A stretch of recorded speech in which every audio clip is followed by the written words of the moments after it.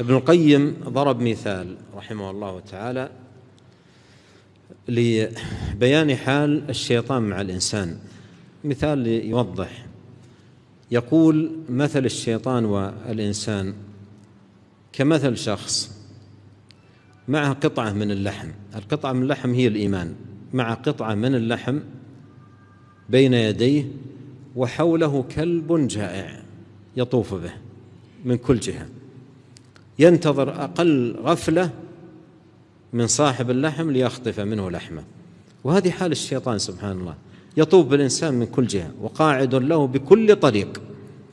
كما قال نبينا عليه الصلاة والسلام إن الشيطان قاعد لابن آدم بأطرقه. بكل طريق. والله سبحانه وتعالى يقول واستفزز من استطعت منهم بصوتك وأجلب عليهم بخيلك.